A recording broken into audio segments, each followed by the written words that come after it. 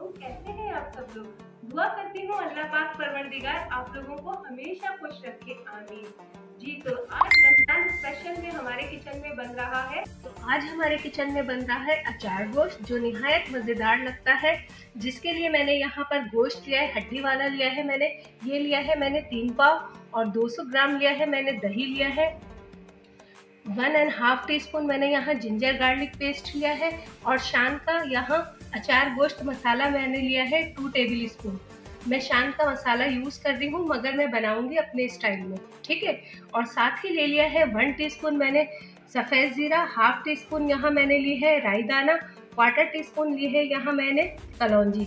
और साथ ही ले लिया है कुटी हुई लाल मिर्च मैंने वन टीस्पून ली है, पिसी हुई लाल मिर्च हाफ़ टी स्पून हल पिसा हुआ धनिया वन टेबल स्पून और हल्दी हाफ़ टी स्पून और यहाँ मैंने मिर्चें ये जो शान का शान का अचार गोश्त मस, मसाला था इसका आ, हाफ़ मसाला मैंने लेमन में ऐड करके मिर्चों में फिल कर लिया है। यहाँ मैंने मिर्चें ली हैं पाँच अदद अगर आप आप लोगों को ज़्यादा पसंद है तो आप लोग ज़्यादा भी डाल सकते हैं, क्योंकि मेरे बच्चे ज़्यादा नहीं खाते, इसलिए मैंने सिर्फ़ पाँच लिए साथ ही ले लिया है कुकिंग के लिए कुकिंग ऑयल, और यहाँ पर मैंने सात से आठ टमाटर लिए थे, और उसको मैंने इस तरह से ग्राइंड करके पेस्ट बना दी। तो ग्रेवी कम चाहिए तो आप चार से पाँच भी ले सकते हैं, बट मुझे ग्रेवी ज़्यादा अच्छी लगती है, इसलिए मैंने ज़्यादा टमाटरों का यूज़ किया है। चलिए अब इसको बनाना स्टार्ट करते हैं।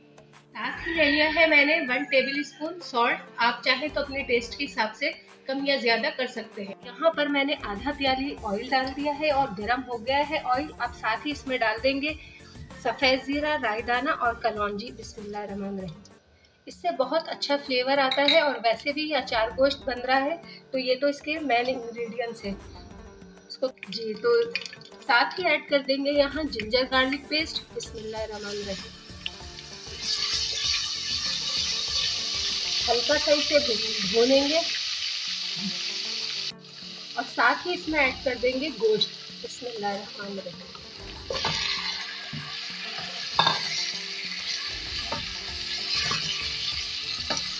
इस तरह जिंजर गार्लिक के साथ अगर हम गोश्त को भूनते हैं तो गोश्त में बहुत अच्छा सा फ्लेवर आ जाता है और ये बहुत मज़े का फिर रेडी होता है। इसका कलर हुए, इसका कलर चेंज हुए तक के हम इसे अच्छा सा भून लेंगे। आप ट्राई कीजिएगा, इंशाल्लाह आपको ज़रूर पसंद आएगा। शान का जो ये अचार गोश्त मसाला है, इसमें भी रेसिपी है, मगर मैं अपनी रेसिपी से ये बनाती हूँ, क्योंकि उसमें थोड़ा सा मुझे झंझट लगती है कि टमाटर अलग भून के डालना पड़ता है तो ये मैं सब साथ ही कर लेती हूँ। आप यकीन करें, ये भी बहुत मज़ेदार बनता है। आप अगर ट्राई करेंगी तो आपको पता चल जाएगा कि ये बहुत ईजीली और बहुत मज़ेदार सा रेडी हो जाता है। तो एक से दो मिनट हो गए हैं मुझे इसको भूनते हुए। अब इसमें साथ ही ऐड कर देंगे हम दही। इसके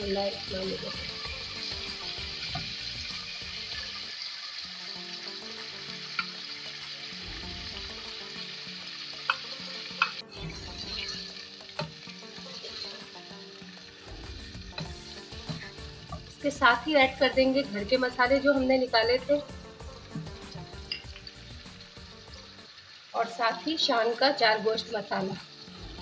मैं बाहर के मसाले बहुत बहुत कम यूज़ करती हूँ, लेकिन जब भी यूज़ करती हूँ तो मैं शान के करती हूँ, क्योंकि मुझे शान का फ्लेवर मसालों का फ्लेवर बहुत अच्छा लगता है, लेकिन मैं फिर भी अपने मसाले उसमें ऐड करके फिर मैं बनाती हूँ। साथ ही हम ऐड कर देंगे इसमें सॉल्ट और जो हमने ग्राइंड करके रखे थे, टमाटर। इसमें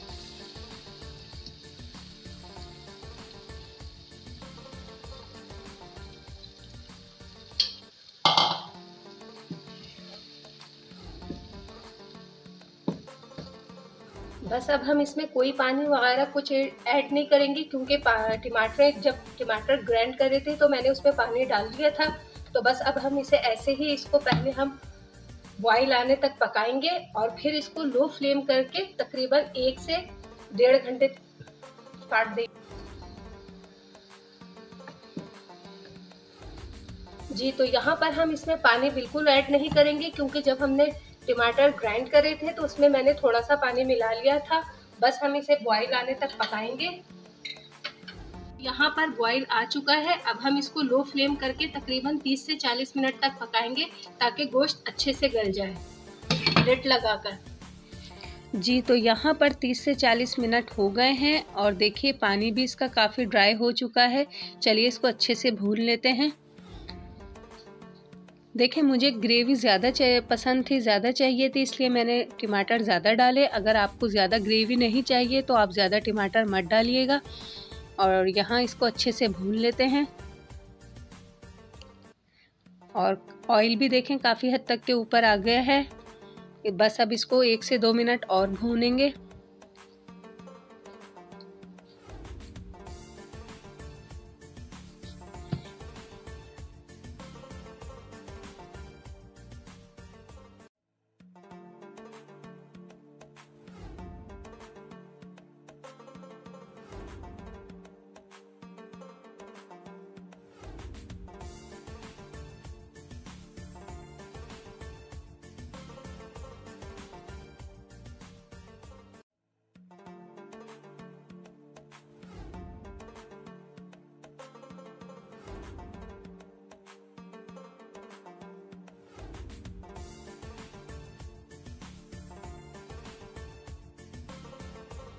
जी तो यहाँ पर देखें ऑयल ऊपर आ गया है और ये अच्छे से भून चुका है।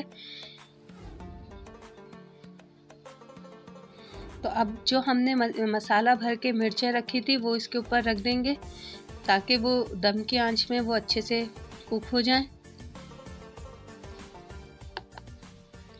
मिर्चों से बहुत अच्छा फ्लेवर आता है तो आप भी ज़रूर डालिएगा। तो अब हम इसको एकदम लो फ्लेम करके तकरीबन एक दो से तीन मिनट तक के लिट लगा के रख देंगे ताकि मिर्चें थोड़ी सी अच्छी सी कुक हो जाएँ। वो जी तो यहाँ एक से दो मिनट हो गए हैं और मिर्चें भी अच्छे से कुक हो गई हैं और सालन हमारा बिल्कुल रेडी हो गया। चलिए मैं आपको डिश आउट करके दिखाती हूँ। बहुत अच्छे सा फ्लेवर का ये बनता है। अचार गोश्त आप ज़रूर ट्राई कीजिएगा इन आपको पसंद आएगा। तो यहाँ पर बनकर रेडी है अचार गोश्त। इसको आप चपातियों के साथ सर्व कीजिए या चावलों के साथ सर्व कीजिए। आपको बहुत मज़े का लगेगा।